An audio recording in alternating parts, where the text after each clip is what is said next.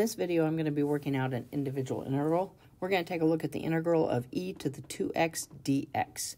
This is going to be a straightforward u substitution, one that would be found in a Calc 1 class. We're going to let our u equal the 2x.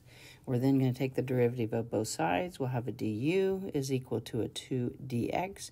And then we want to go ahead and solve all the way down for dx. So we're going to divide both sides by 2.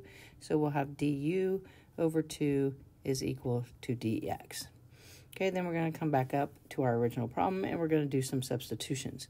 We're going to have the integral of e, we're going to replace 2x with our u, and we're going to replace dx with our du over 2. What that's going to allow us to do then is to pull out a 1 half out of our integral, and then we'll have 1 half times the integral of e to the u du. We are now down to something that we can integrate. When you integrate e to the u, you get e to the u. So we'll have a 1 half e to the u plus c. And then our last step will be to replace that u with what we originally said it was going to be equal to. So we'll have a 1 half e raised to the 2x plus c.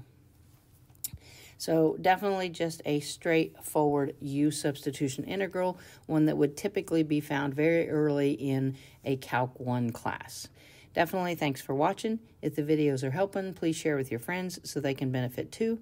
And don't forget to subscribe to the channel and turn on those notifications. Thanks.